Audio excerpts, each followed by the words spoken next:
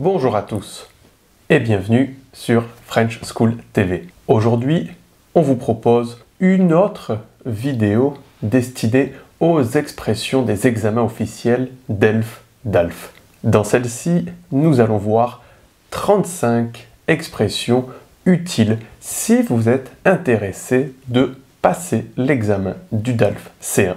Avant de commencer à regarder cette vidéo, vous pouvez bien sûr activer les sous-titres. C'est bon? Allez, on attaque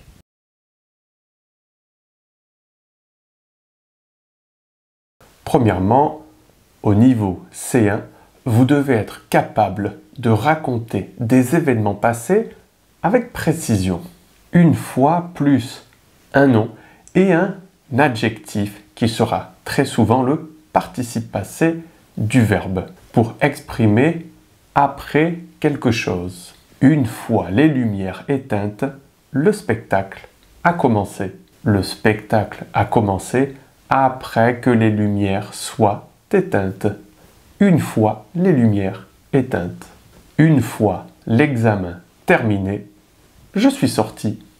Vous pouvez exprimer un fait passé qui inclut une cause avec suite à. Suite aux restrictions mises en place, des manifestations ont éclaté. Suite à la défaite de son parti, le président a dû démissionner. Vous voyez, j'exprime un fait passé, mais qui implique une relation de cause à conséquence. Attention, quand vous utilisez suite à, ce sera suite à la, suite au si c'est masculin ou suite au si c'est pluriel. Vous pouvez utiliser progressivement et tandis que dans la même phrase pour parler d'un fait passé avec précision et exprimer qu'une action se déroule au même moment que ce fait. Tandis que le nombre de professeurs diminuait, le nombre d'élèves augmentait progressivement. Tandis que ici pourrait également se dire pendant que, pendant que le nombre de professeurs diminuait, le nombre d'élèves euh, augmentait progressivement. D plus un nom pour exprimer le début, le commencement de quelque chose dans une histoire. Dès l'annonce de sa victoire, le président a fait un discours. On pourrait également dire juste après l'annonce de sa victoire, dès l'annonce de sa victoire.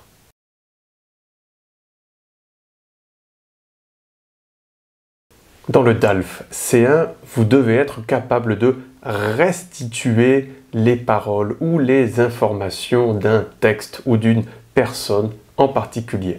C'est notamment utile dans l'introduction de la production orale, quand vous allez présenter les articles ou les opinions des différents auteurs.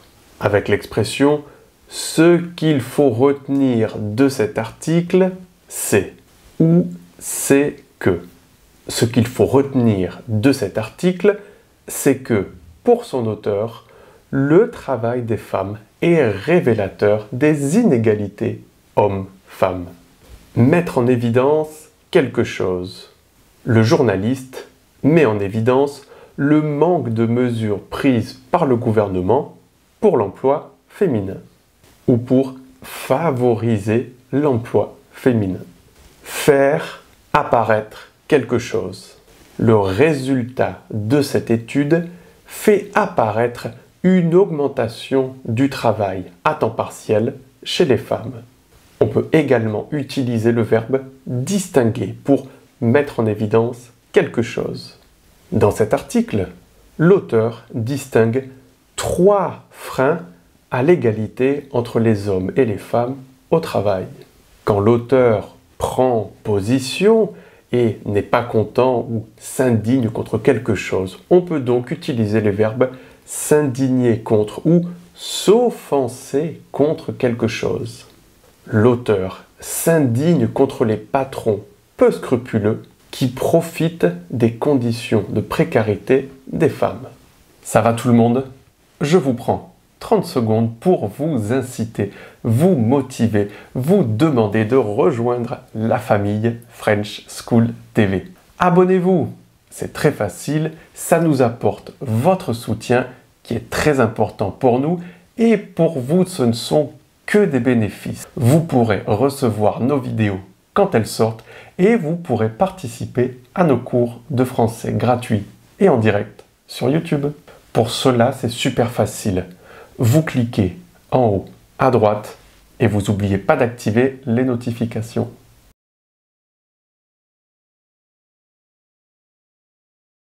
Voici maintenant 5 expressions pour argumenter et mettre en évidence un point précis. Être clair que c'est ainsi que. Il est clair que les e-books sont le futur de la lecture. C'est ainsi que les liseuses numériques se sont développées. Il semble donc que, jour après jour, il semble donc qu'au travers son accessibilité et sa diversité, le numérique offre les garanties d'un paysage culturel idéal. Vous pouvez également argumenter en vous mettant à la place de votre interlocuteur. Vous n'êtes pas sans savoir que l'inconvénient principal du livre numérique, c'est la batterie. Vous n'ignorez pas que l'avantage de l'e-book, c'est premièrement son poids et ensuite le fait qu'il puisse emmagasiner plus de 1000 ouvrages. Je vous accorde que les puristes continueront à acheter des livres papier malgré la tendance actuelle.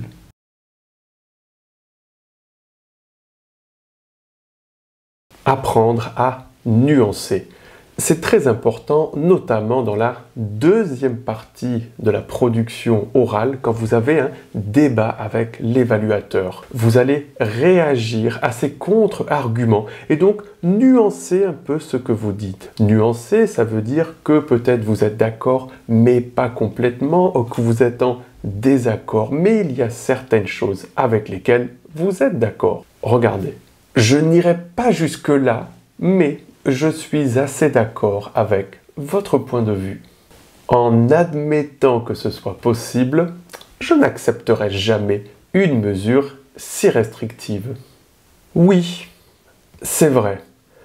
Je vous accorde le bénéfice du doute car je ne suis pas vraiment sûr euh, de cela. Certes. Certes signifie c'est vrai, mais. Certes le commerce équitable se développe, mais il ne représente encore que 0,1% du marché mondial. J'admets que le prix de ces produits a baissé. Cependant, il reste 20% plus cher que les produits classiques.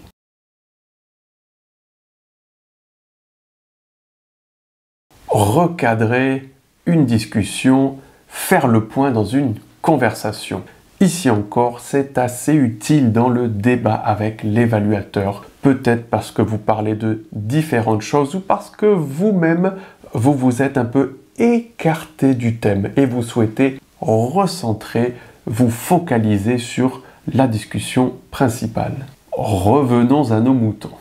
Excusez-moi, je m'égare. Revenons à nos moutons. Ce que vous venez de dire est très intéressant, mais s'il vous plaît, revenons à nos moutons et vous continuez la conversation sur le thème principal. Fermez la parenthèse, ça veut dire arrêter de parler de quelque chose pour continuer sur autre chose. Bien, maintenant, fermons la parenthèse et essayons de repartir sur le thème qui nous intéresse. Pour faire le point, ça permet de terminer une partie de la discussion. Pour faire le point, on peut dire que nous ne serons jamais d'accord là-dessus. Trêve de bavardage pour arrêter de parler de quelque chose et reprendre une conversation ou un thème. Bien. Trêve de bavardage car nous nous éloignons du sujet. Vous pouvez également poser une question en l'air qui peut être adressée à vous-même ou à votre interlocuteur. Par exemple, où en étais-je? Où en étions-nous? Ou encore au présent Où en sommes-nous? Bien, où en sommes-nous? Faisons le point. Il reste encore deux points importants à traiter.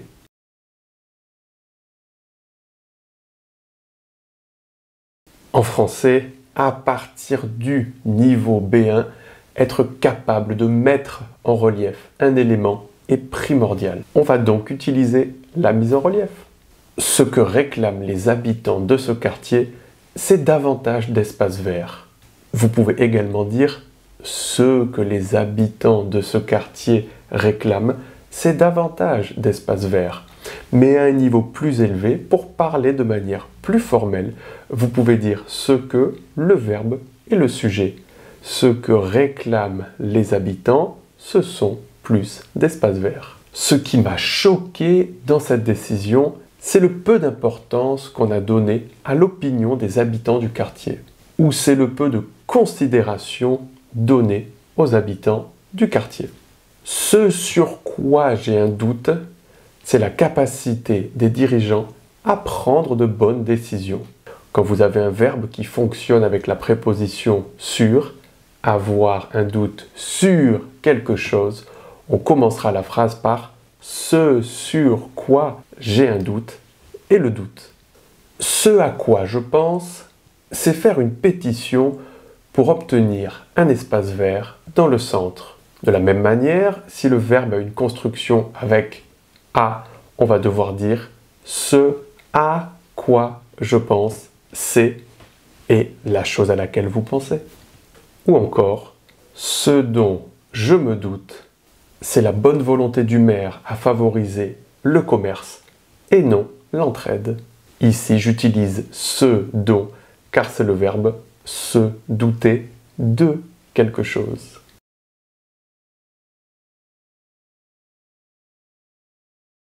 Et finalement, reformuler un propos, expliquer quelque chose plus précisément ou rebondir sur une information, qui est donc réagir à une information.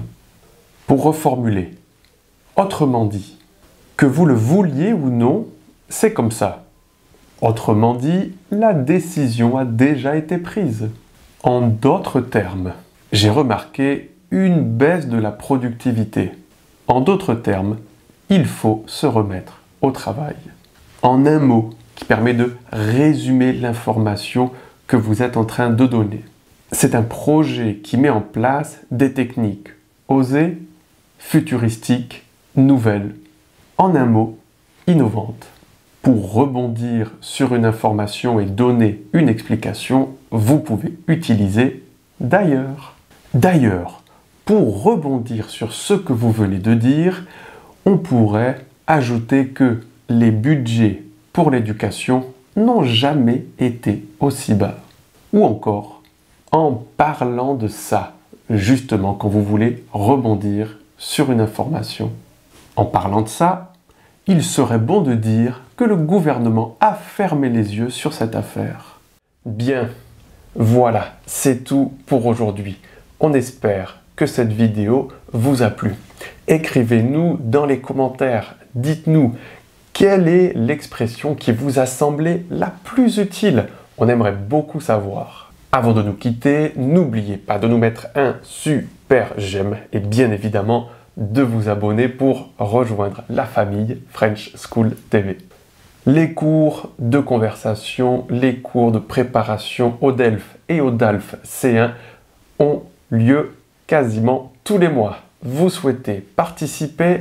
Très facile. Dans la description de cette vidéo, vous avez un formulaire de contact. Complétez-le et on vous envoie l'information. Si vous souhaitez valoriser et soutenir la chaîne, vous pouvez le faire de deux manières.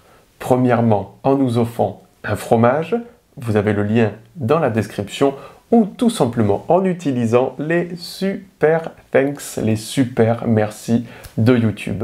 Nous, on vous dit merci, merci, merci d'avoir passé ce temps avec nous. On vous voit très prochainement. Prenez bien soin de vous et des autres et à la prochaine. Ciao ciao